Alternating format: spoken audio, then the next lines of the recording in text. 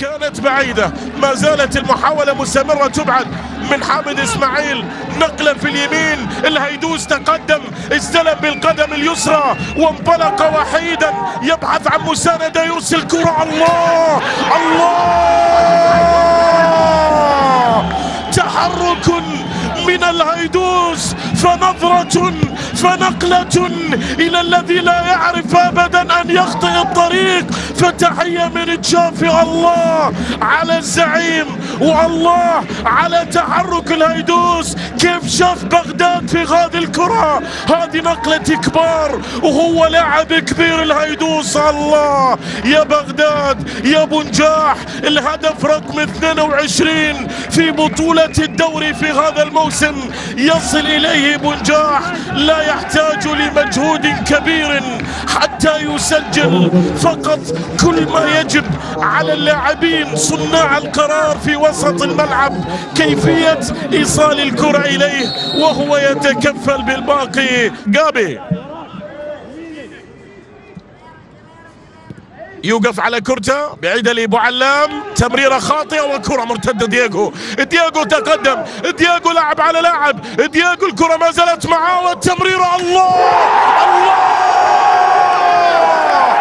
الفرسان لا يمكن ترويضها بهدف ولا يمكن الانتصار عليها بهدف واجنر بتحرك جميل وبتمريرة أجمل وبدهاء الفرنسي الكبير بنت كازوني عادوا للمباراة. شوف هذه التمريرة الخاطئة من بو علام والكرة المرتدة. ودييغو والتمرير في هذا المكان. والتسديدة القوية جدا.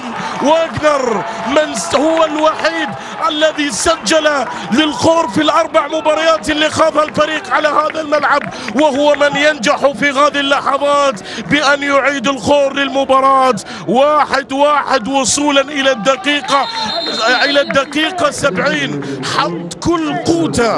هذه هي الإعادة وهذه المحاولة طبعا اللي كانت عن طريق أحمد ياسين كرة مرتدة لصالح السد نقلة للأمام وكرة في الجهة اليسرى. ما زالت قائمة عرضية تمريرة والكرة أبعدت. عادت مجددا. الكوري الجنوبي يسيطر يمرر في الجهات اليسرى. محاولة للزعيم نقلة للأمام. الكرة العرضية هي كذلك. الله! لا نحتاج لكثير من الأسئلة ولا التوقعات.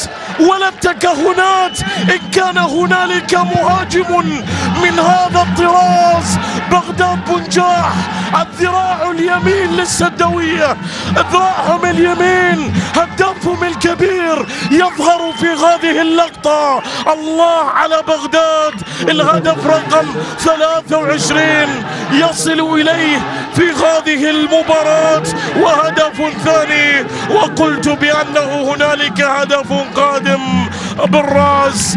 ماشى بالقدم ماشى معاه هو اللاعب الذي حينما يكون متواجد لاعب لديك بهذه القيمة فيجب بأن لا تكون قلقا كثيرا. بنجاح يسجل الهدف الثاني.